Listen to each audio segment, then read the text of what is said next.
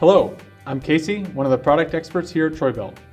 Welcome back to our series on fuel and fuel-related issues. In our first video, we talked about how to minimize the damaging effects of ethanol by selecting the right type of fuel.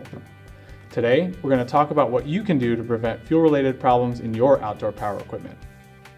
Taking care of your unit's engine is one of the best things you can do to extend the life of your product. Many engine problems stem from the fact that fuel has been left in the tank for weeks or months at a time. Because gasoline breaks down at around the 30 day mark, it's important that you take steps to protect small engines from corrosion as well as gum and varnish buildup. It's especially important that you do this for the products in your garage that you don't use on a regular basis. So you might be wondering, what is the best way to protect a small engine? Well, here are some quick and easy tips to remember. First, make sure that each time you buy gasoline for your lawn and garden equipment, including mowers, string trimmers, leaf blowers, and snow throwers, that you treat it with a fuel stabilizer.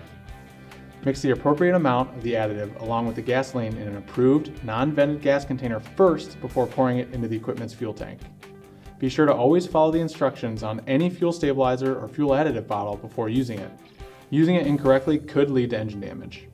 Second, Prior to storing your equipment for the season, you'll want to make sure that you again add fuel stabilizer to your fresh fuel. Mix them in an approved non-vented container first and then add the treated fuel to your equipment's gas tank. I recommend that you run it for approximately 5 minutes to ensure that the treated fuel circulates through the fuel system. Doing this will ensure your unit starts smoothly and easily when you bring it out of storage and are ready to use it.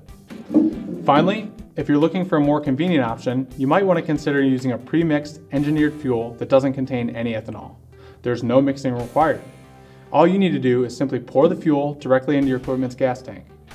Another plus is that synthetic fuels have a shelf life of up to two years after opening, so you don't have to worry about using it all in one season. Be sure to like this video and stay tuned for our next video segment on how to properly store your fuel.